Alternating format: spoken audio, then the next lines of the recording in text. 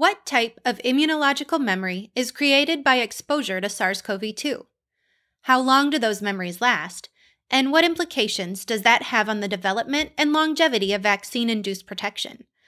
Hi, and welcome to Microbial Minutes. This is the American Society for Microbiology's update on what's hot in the microbial sciences. I'm Ashley Hagen, Science Communications Specialist at ASM, and today we're discussing a topic that underpins many of the critical questions that continue to circulate about COVID 19 vaccine development the kinetics of immunological memory to SARS CoV 2, and the behavior of key immunological players involved in those processes.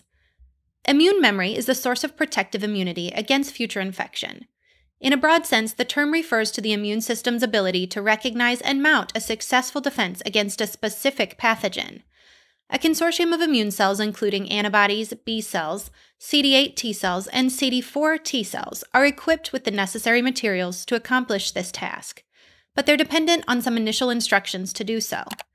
Those instructions can be delivered via natural infection, vaccination, or therapeutic interventions that introduce the body to a pathogen specific antigen, which then in turn triggers the immune response. We're beginning to gain a better understanding of how the immune system responds to SARS CoV 2. B cells make antibodies in response to SARS CoV 2 antigens like the spike protein and N protein. And the primary role of neutralizing antibodies is to capture unbound virus and keep it from infecting the cell. In a previous Microbial Minutes linked in the description below, we discussed a study from the Journal of Clinical Microbiology which demonstrated an important correlation between neutralizing antibodies and protection against secondary SARS CoV 2 infection. Similarly, Treatment with monoclonal antibodies prior to infection has been shown to offer passive immunity in animals, and in November, the FDA issued emergency use authorization to two developers of monoclonal antibodies, Regeneron and Eli Lilly, based on interim analyses of the company's randomized phase 2 trials, which showed reduced rates of hospitalization in patients who were administered monoclonal antibody treatment after infection. But antibodies aren't the only cell type that mediates immunity to COVID 19. T cells have been associated with less severe disease and seem to play an important role in the clearance of SARS CoV 2 infection.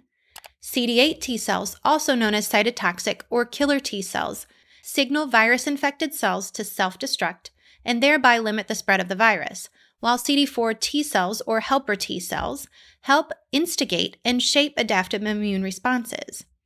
T helper cells are involved in the activation of B cells and cytotoxic T cells, as well as the production and release of cytokines. Large numbers of antibodies and T cells are mobilized during active infection, but after the pathogen is cleared, those numbers begin to slowly decline. Some immune cells will die, while others differentiate into memory B and T cells, and low levels of antibodies may continue to circulate in the blood.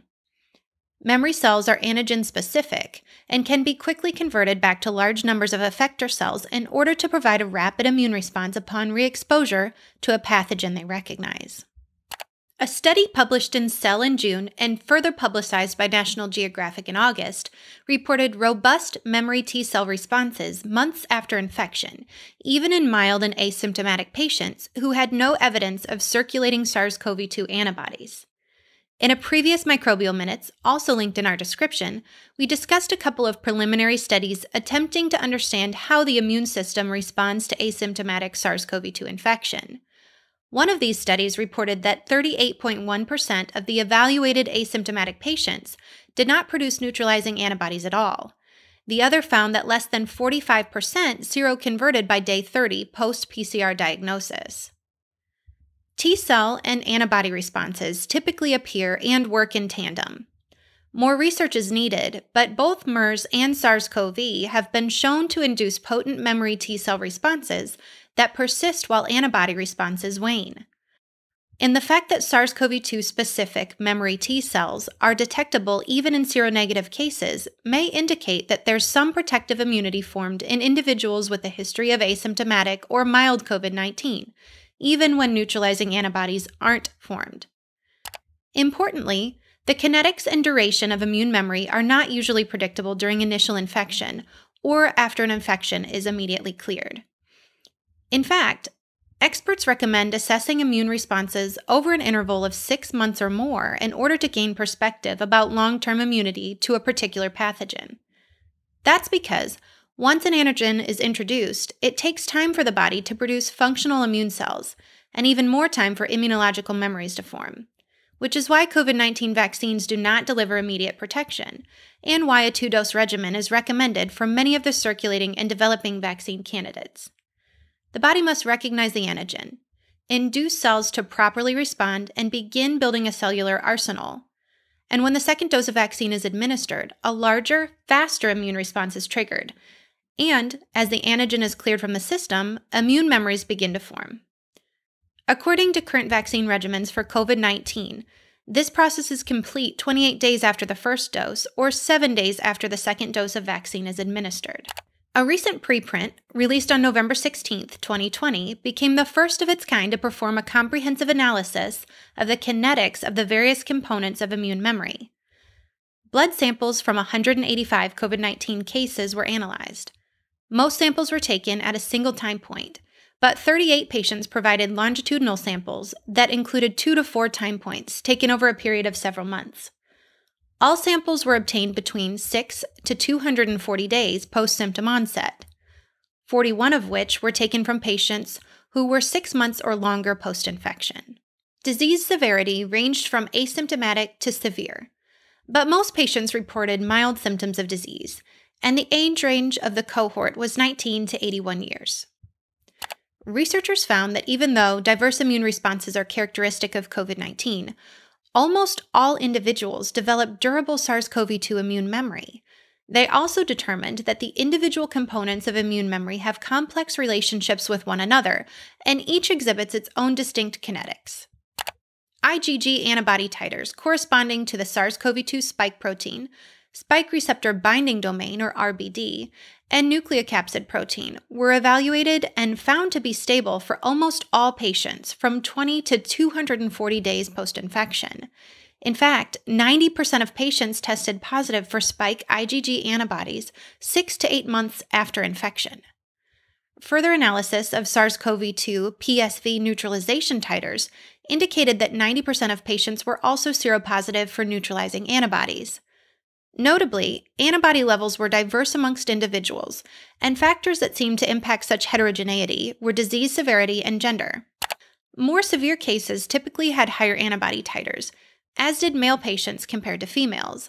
However, these trends did not hold true for other components of immune memory, and therefore disease severity and gender do not fully explain the characteristic heterogeneity of immune responses to COVID 19 that we continue to observe.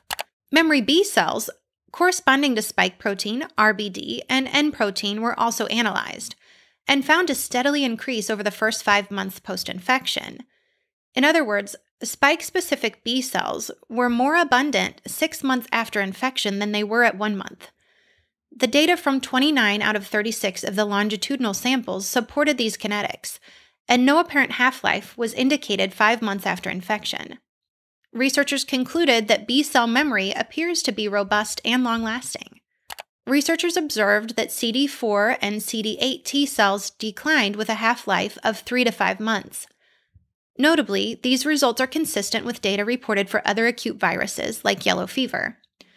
SARS CoV T cells have been detected 17 years after initial infection, which suggests that the decay of SARS CoV 2 T cells may slow or become more stable after the first six months post infection. 50% of samples were positive for CD8 T cells, and 89% were positive for CD4 T cells six months or more after infection. Notably, at one to two months post infection, 59% of cases were positive for all five immune memory responses. By five or more months post infection, 40% were still positive for all five out of five, and 96% were positive for three out of five memory responses. Overall, these results indicate that durable immunity against SARS CoV 2 is possible in most individuals. So, here are a few key takeaways from today's session about immunological memory.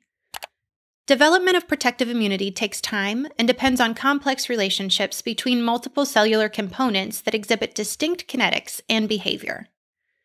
SARS CoV 2 specific T cells have been detected in the absence of circulating antibodies.